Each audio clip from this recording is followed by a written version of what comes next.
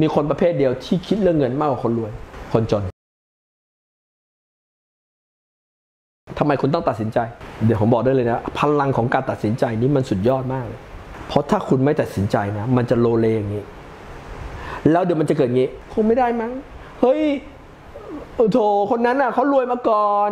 เออเนี่ยมันคงเราคงทำไม่ได้หรอกเพราะเราการศึกษาต่ำเราเออเราคงทำไม่ได้หรอกเราไม่เก่ง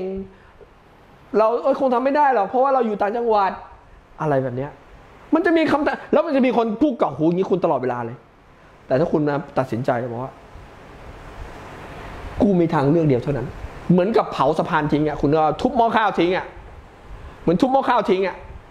ไอทางความจนกูไม่เอาละทางความไม่รวยทางความแบบต้องเป็นต้องต้องเออเดือนชนเดือนไม่เอาล้วแต่กูต้องมีเงินเหลือเฟือเท่านั้นเหลือเฟือแบบไหนเหลือเฟือแบบใช้ทั้งชีวิตไม่หมด นี่คือเหลือเฟือแบบนั้น กูไม่ต้องคิดเรื่องเงินละผมบอกได้เลยนะ มีคนประเภทเดียวที่คิดเรื่องเงินมากกว่าคนรวย คนส่วนใหญ่ชอบบอกว่าคนรวยเนี่ย คิดแต่เรื่องเงิน คุณรู้ไหมมีคนประเภทไหนที่คิดเรื่องเงินมากกว่าคนรวย คนจน เพราะอะไรเรื่องนี้จะพอป่ะเฮ้ยเรื่องนี้ ติดนี้เฮ้ยบินเช็คอะไร ต้องจ่ายตรงนี้ต้องจ่ายเขาเอายืมคนนั้นมาจ่ายคนนี้ยืมคนนี้ไปจ่ายคนโน้นเฮ้ยจะมีเงินค่าขอค่าค่าเทอมลูกเปล่าไม่เอา เราต้องเปลี่ยนวิธีการคิดของเรา ผมไม่ได้ว่าเออไม่ได้ว่าความจนเป็นเรื่องไม่ดีนะคุณเกิดมาจนนั่นโอเค คุณเกิดมาจนโอเค ผมก็เกิดมาจน แต่อย่าอยู่ที่นั่น จงพัฒนาความคิดแล้วห้ามพูดนะว่า ก็ไม่มีเงินทุนนะบางทีก็มีในในในคอมเมนต์ในเพจของผมบ่อยก็ไม่มีคนคนเราก็มีโอกาสกันแค่นี้เราไม่มีโอกาสพอพูดคำนี้คือจบ มันเพราะฉะนั้นคุณมีอันเดียวเลยมีทางเลือกอันเดียวตัดสินใจ กูตัดสินใจรวยเท่านั้น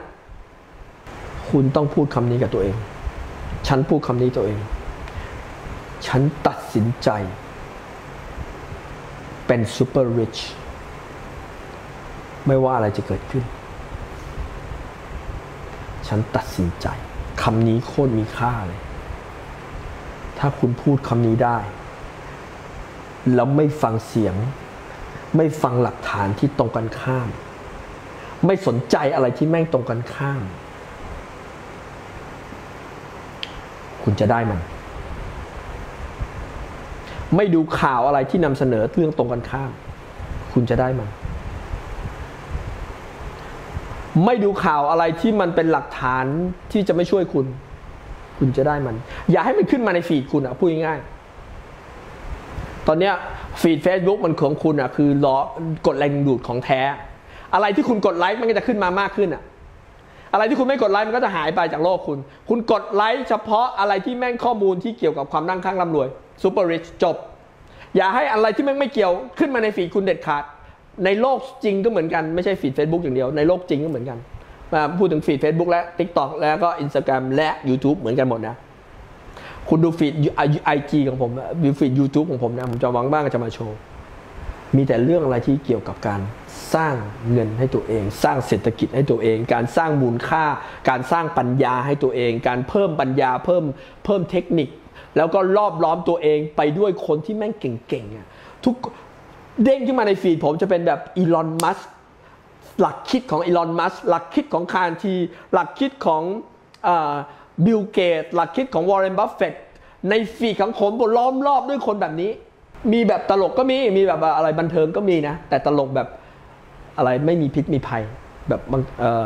ตลกที่ไม่มีการเมืองเข้ามาเกี่ยว ตลกที่ไม่มีไม่มีอะไรที่มันแบบว่ามีลบๆไงเข้าใจปะผมเพราะฉะนั้นเนี่ยต้องตัดสินใจคนยุคใหม่มันตัดสินใจเลยเว้ยว่ากูจะซูเปอร์ริชคุณต้องตัดสินใจวันเนี้ย